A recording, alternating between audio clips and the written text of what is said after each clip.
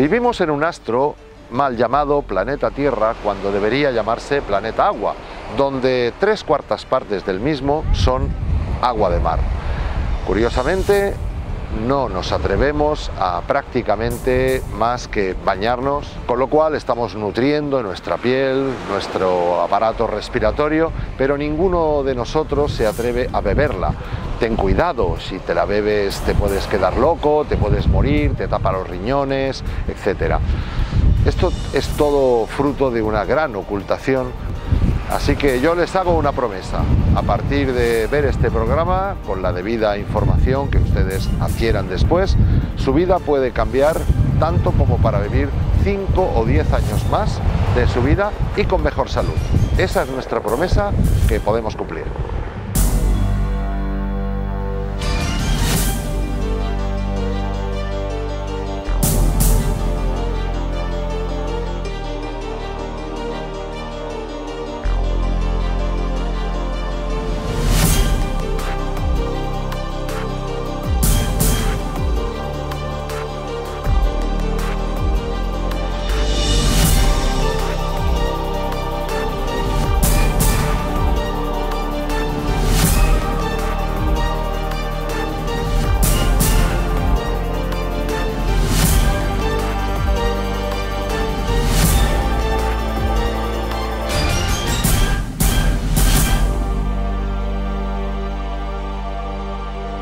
Soy consciente de que la promesa que les acabo de hacer es muy atrevida. Decir que ustedes pueden vivir de 5 a 10 años más eh, a partir de que empezaran a ingerir de una forma regular el agua de mar es algo que pienso que es importante para la vida de cualquiera de los que está viendo este programa. Les podría decir otras promesas más sobre el agua de mar, otras grandes ventajas en la agricultura, en la ganadería.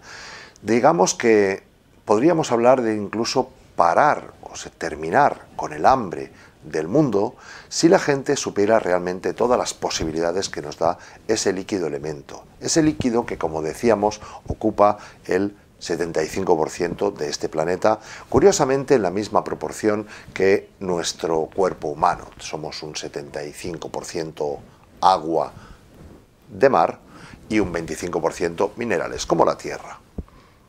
Déjenme explicarles algunos de los beneficios del agua de mar para el ser humano.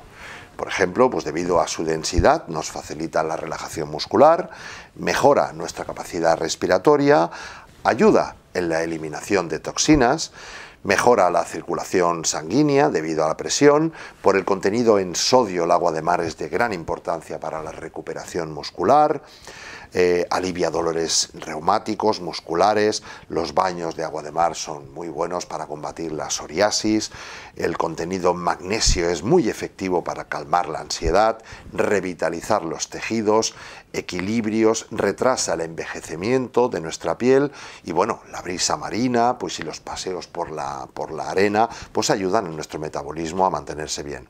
En la orilla del mar hay unas condiciones muy especiales, puesto que está cargado además de iones negativos generados por las olas del mar, teniendo un efecto relajante y antidepresivo. Esto es algo que la gente ya conoce, ya sabemos que esos una época, en la posguerra, por ejemplo, en España, con mucha gente con, eh, con, problemas con tuberculosis, pues bueno, los mandaban cerca de la playa porque esa brisa marina, ese salitre, pues era fantástico para, para su salud, ¿no? Pero eh, a partir de unos años hemos empezado a retomar una, digamos, lo que fue el legado de un tal René Quintón, que fue un señor, un Nikola Tesla, otro hereje de la ciencia, que empezó a, a darse cuenta y a estudiar sin ser médico todas las ventajas y los beneficios que teníamos en el momento que introducíamos agua de mar en nuestro cuerpo. Ya sabemos los beneficios que tiene el agua marina, lo sabemos muy bien. Por eso cobramos fortunas por algo que no vale absolutamente nada como es el suero fisiológico. Hasta que Después de la Primera Guerra Mundial las cosas volvieron a su cauce como tenían que ser y lo volvimos a colocar en su sitio para que nosotros, las empresas farmacéuticas, pudiéramos seguir comiéndonos el pastel, para evitar que señores como él pudieran interferir y nos pudieran perjudicar económicamente. Ya saben cómo acabó Quintón, ¿verdad? No querrán acabar ustedes así, y no descubran ustedes demasiadas cosas, porque a lo mejor lo que van a escuchar hoy no les va a gustar nada en absoluto. Casi 100 años después, ha habido una serie de personas que han retomado ese legado de Quintón para empezar a difundir de nuevo esas grandes ventajas del agua de mar para el ser humano que han estado ocultadas. Y entre ellas destaca el doctor Ángel Gracia, al que aprovechando que vamos a eh, despedir porque él marcha de nuevo a Estados Unidos, le vamos a hacer unas preguntas muy eh, interesantes y que muchos nos hacemos. Seguramente, llegados a este punto, la mayoría de nosotros nos estaremos preguntando, pero ¿cómo beber agua de mar si el agua de mar está contaminada? Y esa es una importante pregunta que aprovecharemos a que nos conteste el doctor Ángel Gracia. El agua de mar es imposible que se contamine con microbios de procedencia terrestre. Cuando hablo de microbios de procedencia terrestre son virus, bacterias, hongos y parásitos.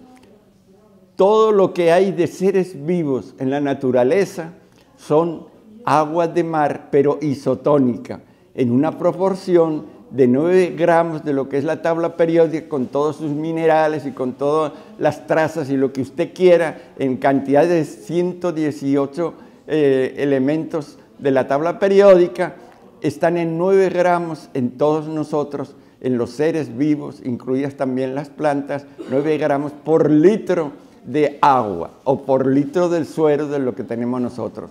Cuando llegan al mar los microbios, vienen con ese tipo de agua de mar isotónica de 9 gramos y entran en contacto con un agua de mar que es hipertónica y que tiene 35 gramos de todos los minerales de la tabla periódica, más la sopa marina que en los cursos que nosotros estamos dando ahora online se puede aprender todo esto y por el motivo de un fenómeno fundamental que es el de la ósmosis, todos los microbios de procedencia terrestre que llevan 9 gramos por mil entran en el mar, entonces por lo que es la ósmosis, inmediatamente se desactivan y se desecan. En cambio, las industrias, estos señores que tiran toda la basura al, mar, todo esto que ha habido en, lo que han sido los maremotos y los terremotos y toda esta cosa, y todo lo que las industrias nos tiran al mar, eso es polución.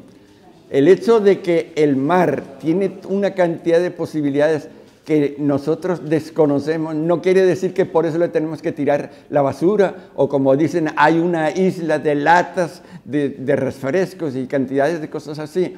Bueno, señores, no puedo explicar mucho esto, esto es muy mal hecho. Son las industrias las que además llegan y hablan de la contaminación para echarle la culpa a otras cosas que no son todos los residuos industriales. Pero sepan una cosa, y el principio del letaletier, que dice, todo sistema que se desequilibre, el mismo sistema se encargará de reequilibrarlo. Ya están el niño y la niña que baten el mar, que hacen todo un desastre aparentemente y dentro de una semana el mar está tranquilo.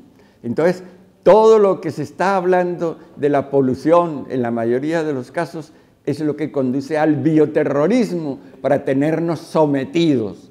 Entonces, decir que el agua de mar, es gratis, se contamina, esa es una forma de fomentar la enfermedad, la cultura de la enfermedad, porque es mejor negocio cuidar la enfermedad que cuidar la salud. Sepan que es falso que el agua de mar se contamine, que el agua de mar tape los riñones, y que si un náufrago, lamentablemente con esto de Siria yo estoy sufriendo mucho, si un náufrago la bebe ni se vuelve loco y además allí hay por cada litro de agua de mar 965 centímetros cúbicos de agua más los 118 elementos de la tabla periódica en 35 gramos. Veamos ahora qué opina nuestra documentalista Rosalía Sanz al respecto. Rosalía, ¿El agua de mar es vida? El agua, sin duda alguna, es vida y sin agua sencillamente es imposible la vida. De hecho, venimos a este mundo, como todos sabemos, en un medio acuoso. Eh, durante todo el periodo de gestación permanecemos en ese medio acuoso, ¿no? Y resulta que este medio líquido es muy parecido en cuanto a sus componentes al agua de mar, en cuanto a los nutrientes, las sales minerales, y en fin.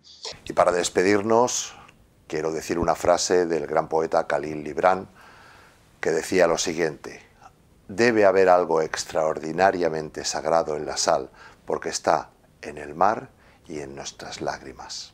Muchas gracias y hasta el próximo programa.